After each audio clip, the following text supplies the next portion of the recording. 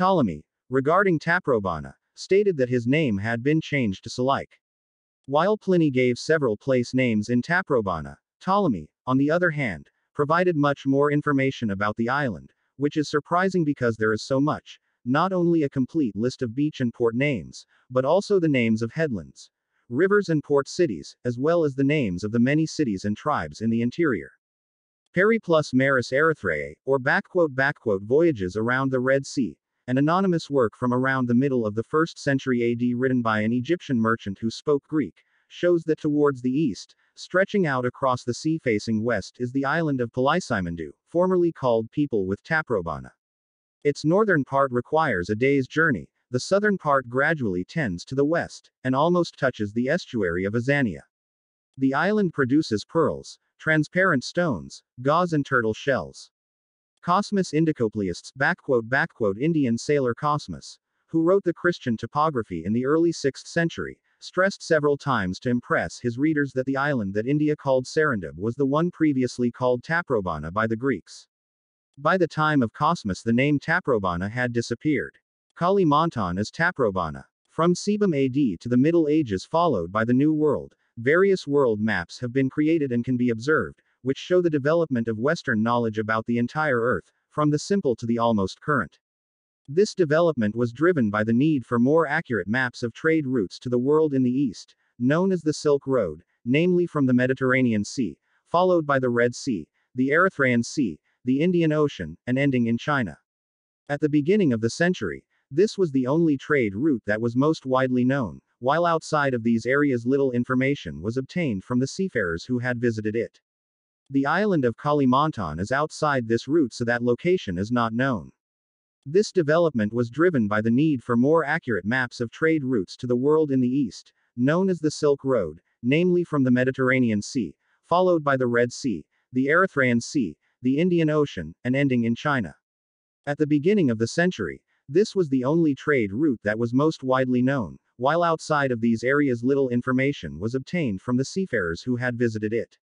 The island of Kalimantan is off this route so that the location is not known, or perhaps it was kept secret because the island has lucrative resources of superior quality which are very attractive for trading commodities. It is the author's subject to hypothesize that Taprobana is actually Kalimantan. The island of Taprobana is shown on maps of Dicaearchus, 300 BC, Eratosthenes, 220 BC, Strabo, 18 AD, Pomponius Mela, 43 AD, Ptolemy, 150 AD, Al-Idrisi, 1154 AD, Martellus, 1490 AD, Cantino, 1502 AD, Caverio, 1505 AD, Waldseemüller, 1507 AD, Lorenz Fries, Peter Alpian, 1520 AD, and Ptolemy edited by Lorenz Fries, 1522 AD, while medieval maps by Abraham Ortelius, 1570 AD, and after that it doesn't display. The maps made before Ptolemy were without more advanced geography and cartographic knowledge, so the information presented on the maps was rather sparse, general in nature and inaccurate. Geographical features are described by what they see, here are based on information from tourists and explorers.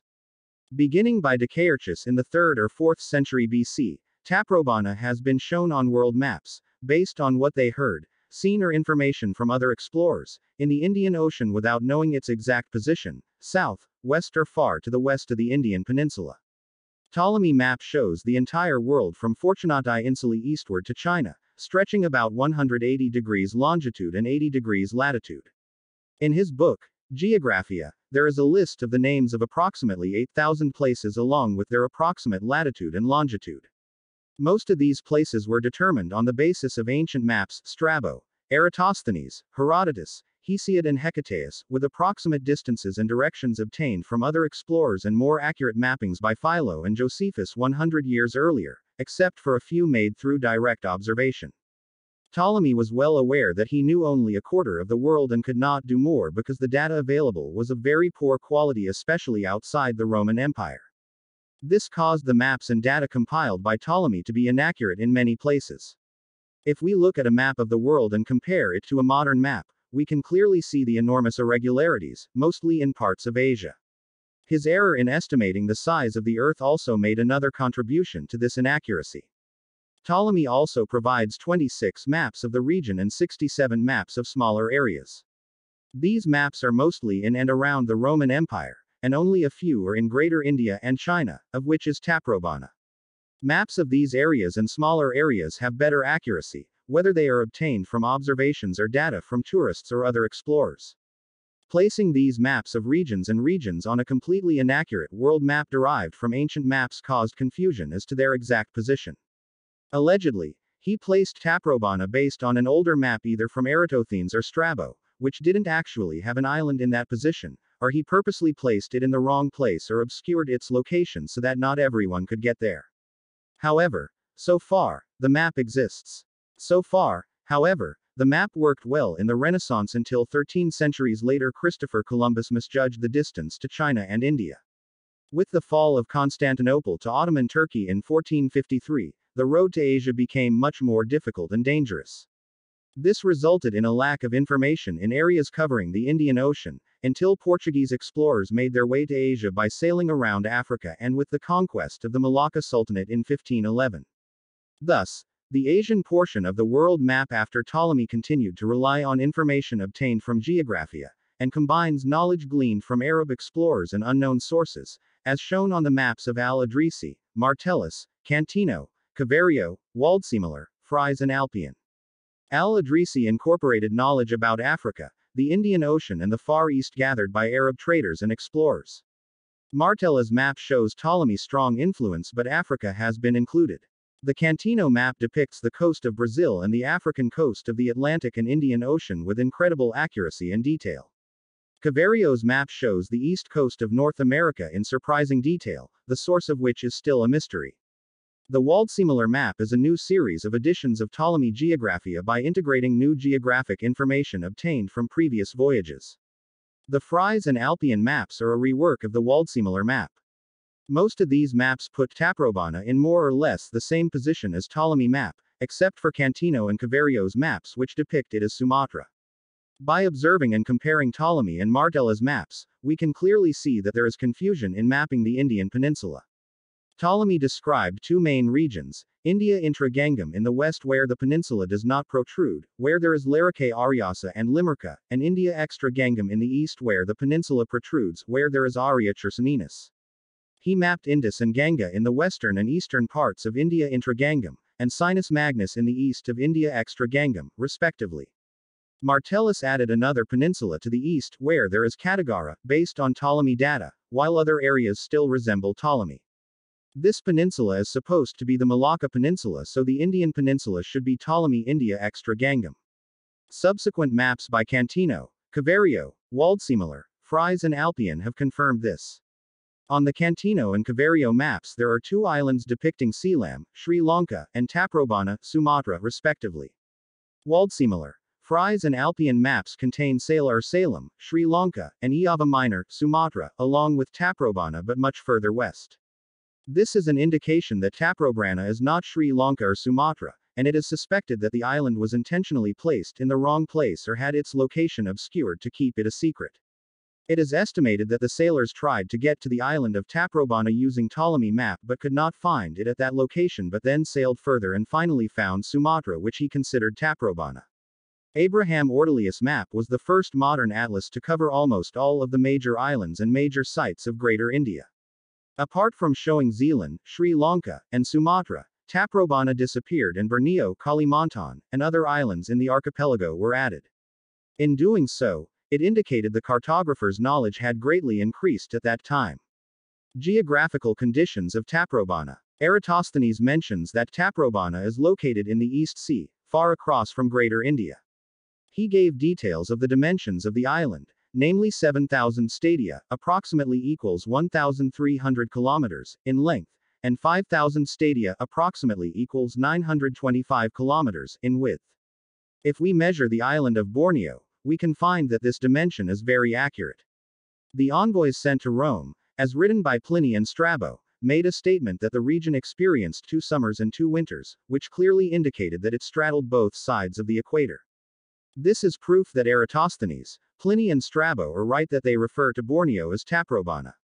Pliny and Strabo state that the closest point to the coast of Great India is a peninsula known as the Kaliakam, sailed for four days, and in the center is the backquote backquote island of the sun. The sea is greenish in color. There are lots of corals at the bottom, which the rudder of the ships can get caught if they hit it while sailing on it. The Kaliakam Peninsula in question is probably the Malacca Peninsula. They gave this name a reference to the name Kelantan or the older Kalantan which is located on the east coast of the peninsula. Kelantan has the earliest history of traces of human settlement dating back to prehistoric times, and became a major trading center in the late 15th century. Between Kalimantan and the Malacca Peninsula there is the Karimata Strait, the water is shallow and in the form of land during the Ice Age. Nearly a hundred islands and coral reefs exist in this strait, administratively under the Riau Islands and Bangka Belitung Islands, Indonesia, with the main islands being Natuna, Anambas, Bintan, Lingga, Bangka and Belitung. The people of these islands are known for their sun-worshipping beliefs. The shallow sea and the corals at the bottom make it greenish in color. There are several islands around the island of Borneo. They are found in the Java Sea and Karimata Strait, which have a shallow depth of only 20 to 50 meters, in the form of a mixture of real islands and coral reefs. Between islands are coral reefs, the depths are even shallower so boats must be careful and prepared for these conditions. This also confirms Pliny's and Strabo's statements. The Dayak people who inhabit the island of Borneo are mostly hunters and farmers. Their leader wore clothes and accessories like Father Liber, just like what Pliny and Strabo said. They also have the most ancient tattoo traditions. The animals are abundant and the land is fertile. The island is also rich in metallic minerals such as gold, silver and copper, as well as all kinds of precious stones. The island is also rich in metallic minerals such as gold, silver and copper, as well as all kinds of precious stones. Pearl-producing oysters are cultivated in the seas around the island, now making up 40% of the world's pearl suppliers. Elephants, tigers and turtles were once abundant on the island as is illustrated in the traditions, language and legends of the Dayak tribes of how they became aware of the habitats and habits of these animals, but because of their tradition of hunting animals, the population is currently shrinking or becoming extinct. Dot. Indonesia is the place for ancient stegodon, an animal like an elephant with a large size. DNA analysis shows that Asian elephants are native to Borneo, Fernando et al., 2003. The Borneo pygmy elephant, Elephas maximus borneensis, which is now threatened with extinction is the only one left in Borneo today, the same species in Java that became extinct about 200 years ago. Kalimantan, as well as Sumatra, is home to the giant turtle, Orlitia borneensis, and leopard, Neofelis nebulosa. These facts confirm the claims of Pliny, Strabo and Ptolemy. In everyday life, the hornbill, Rhinoplax vigil, is adored by the Dayak people in Kalimantan, as a lesson for the community to learn from the behavior of this species. There are many different names for calling this bird, the Dayak people have many myths and legends that hornbills are messengers of the gods with the task of conveying holy messages. In their belief, the birds provide an example of life in terms of the loyalty of a married couple and their responsibilities in the family. The Dayak people teach their children not to hurt or kill the sacred bird. The act was considered taboo. Pliny and Strabo said that when it comes to going to sea, the people of Taprobana do not observe the stars, but they bring birds to the sea, which are allowed to fly from time to time, and just follow them because they must return to their original land. These birds were apparently the hornbills adored by the Dayak people. Pliny and Strabo state that the island has a port on the south coast, bordering the city of Palaesimondus. There is a large lake called Megasba where the Palaesimondus River originates from three channels each with a width of between 5 and 15 stadia, about 925 and 2,775 meters, and the Sidero River is to the north of the lake. The three rivers are thought to be the Barito, Kapuas Murung and Kahayan rivers. The Barito River is almost 3 kilometers wide, the Kapuas Murung River is about 1 kilometer wide and the Kahayan River is about 1.5 kilometers wide in parts near the sea, as mentioned by Pliny and Strabo. A large lake may form in a plain area due to a large flood from the mountains with a higher flow rate that can erode the upper part of the plain, but the bottom is flat and flat so that the velocity is much reduced and the eroded material settles there forming a dike. And the lake. A shallow lake on flat land can disappear in just a few hundred years. The current condition of the area is a large swamp. According to ancient maps, the town of Tanjungpura which is located on the south coast of Kalimantan is a prominent city. Some ancient manuscripts also mention this name. The literal meaning is backquote backquote city, Pura Tanjung tree. The Cape tree, Mimusops elengi, is a medium-sized tree found in tropical forests in South Asia, Southeast Asia and Northern Australia. The Sanskrit name is Bakula, so an ancient manuscript from the Singasari kingdom in Java refers to the city as Bakulapura. Backquote backquote Cape can also mean land jutting out into the sea as is used in some place names, but this is not the case. In historical records, there is a community near the present city of Tanjung which is called Tanjungpuri. One of its legacies is the Agung Temple, which is located in Sungamalang village, Amuntai Tengah district, Hulu Sungai Utara Regency, South Kalimantan province. Carbon testing of one of the artifacts indicates it was around 200 BC. Tanjungpuri is probably the origin of Tanjungpura. The port of Hipuri mentioned by Pliny was probably Tanjungpuri. Initially, the indigenous people of Kalimantan did not apply the royal system. Their social life is based on customs and beliefs which are developed and passed down from generation to generation. These communities were originally formed from a small number of people and the amount of land needed to live and farm. Over time, they developed into larger communities which made their customs more complex, and required more land as well. Opening new land will create a new community so that over time several communities have formed but follow the same habits and inhabit the same area. They call all societies that have the same socio-cultural habits and inhabit an area as Banua, which means world, similar to mundus in Latin. People in Kalimantan still adhere to the concept of Banua strongly until today. The word Banua is something that symbolizes worldwide. This is illustrated in the magnificent and large monument at the center of civilization called Wana Saka Pala, which is now published as Borobudur. On the relief depicted on the wall, the history of the development of advanced civilization in the archipelago was recorded as the center of world civilization in the past. The mention by the public is recorded by naming Lemuria, Atlantis, Ramayana, and Bharata, which are recorded in the Mahabharata book. Their social leaders are called backquote, backquote, kings, or backquote, backquote, Raja. The name of the leader of the envoys to Rome is stated by Pliny as Rakia. Perhaps this is a backquote, backquote, Raja. James Brooke was also appointed as the backquote, backquote, Raja, who ruled all of western Sarawak in the 19th century. The kingdom was introduced into their customs by Malay immigrants from Sumatra around the 4th or 5th century. Tanjungpura was possibly a backquote, backquote, Banua in the early centuries and BC, so its full name became backquote, backquote, Banua Tanjungpura. Some ancient maps mention it as backquote, backquote, Tayopuro, which the Europeans probably later referred to by the full name backquote backquote Tayopuro Banua. To make four consonants in a name, then shortened to tap. Regarding the name, Salike, given by Ptolemy, there is an Austronesian word, Salaka, which means white metal. This metal was probably a mixture of gold and silver, or backquote backquote electrum, in Greek. This metal can be found naturally in the southern part of Kalimantan as a byproduct of gold mining. This word is now used for the name of a cape, namely Tanjung Salaka, which is located on the southern coast of Kalimantan, which is located almost around the location of Tanjungpura on ancient maps. The free slave Annius Plocamus was likely stranded in the vicinity of present-day Banjarmasin, according to what he mentioned, namely on the south coast of Taprobana. It was also stated that the territory was divided into two parts separated by a river.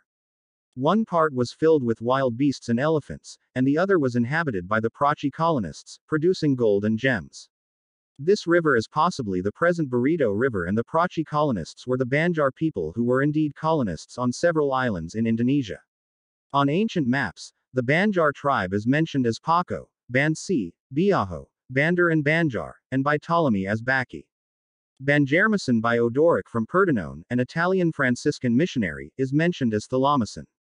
Banjarmasin by the Roman tongue changed to Polysimundus.